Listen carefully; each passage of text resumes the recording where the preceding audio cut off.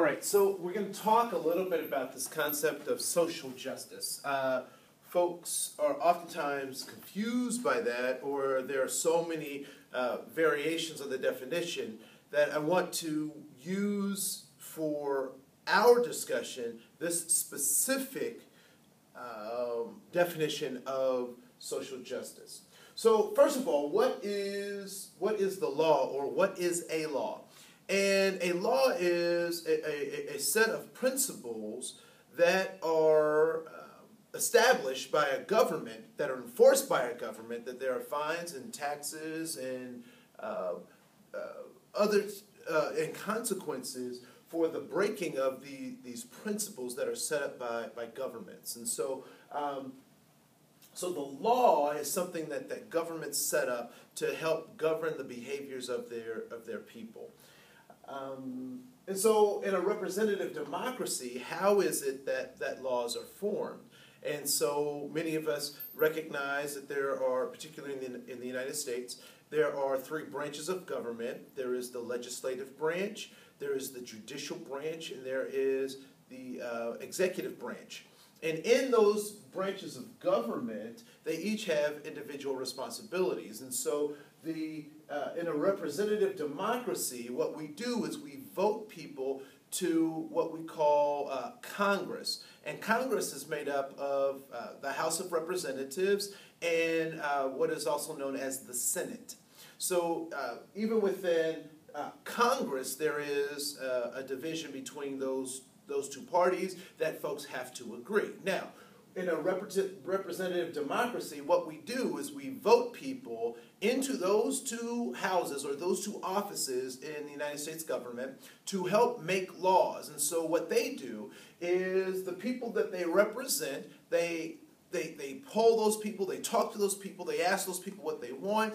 Um, and oftentimes, uh, some of those people uh, that they're representing get together and create PACs or uh, have lobbyists that, that you know, work with the, the, the, the voted um, representatives and say, hey, this is what we want.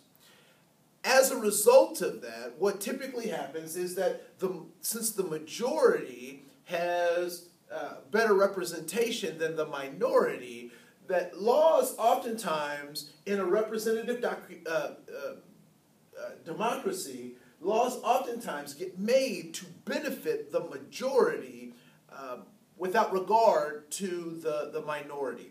Um, in terms of uh, representative democracy, all you need is 51% to have something pass. The, the, the problem is that that means that there is 49% that may disagree with, with that decision. And that is a large number of individuals to have dissenting on, on, on an opinion. And so uh, often when, when this is in play, this representative democracy is in play, this 5149 uh, becomes a metaphor for some of the struggles that we encounter when trying to get things done through a legislative process. So, so the, the, the legislative branch creates, uh, in a rep- representative democracy, the, the legislature um, creates those laws based on those two houses. Uh, and, and state models oftentimes follow this model, and counties uh, follow this model a bit more differently uh, or more loosely, but this pretty much is how American government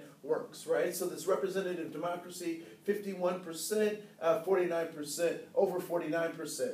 And so what ends up happening oftentimes is that laws are created that benefit the majority um, to the disincentive of participation of the, the, the, minority. And so we get this, this rub.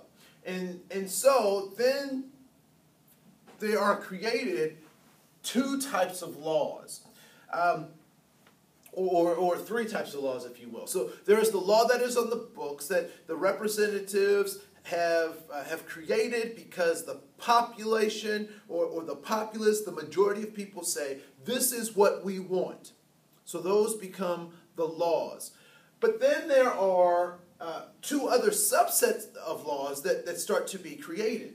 And, and we'll consider for this conversation, we'll talk about unjust laws versus just laws, right? And so an unjust law is one that benefits the 51% without regard to its impact on the 49%. Or uh, unjust laws are laws that, uh, that benefit from making sure that the 49% don't have access to goods, jobs, services, and money. That would be an unjust law. For example, uh, Jim Crow uh, as, a, as a form of, of, of government, separate but equal. Um, ask, uh, don't ask, don't tell. Um, these would be examples of laws that were created by the 51% to, uh, to, to the detriment of the, the 49%, right? So the detriment to the, the minority.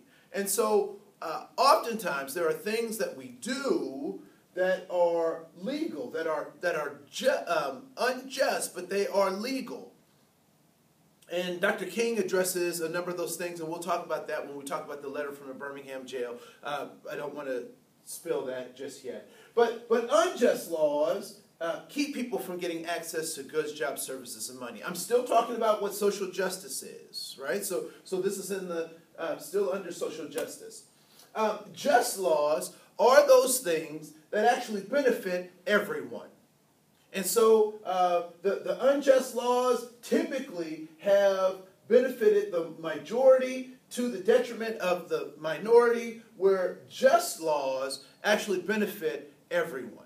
All right? So, um, and unfortunately, so sometimes what, what we've tried to do is, is say that well, this is just the law, but unfortunately it impacts folks differently, right? So um, there was, uh, and I, I, I, will bring up the, the statutes associated with this, but, but for a long time, um, cocaine was uh, prosecuted in two different ways.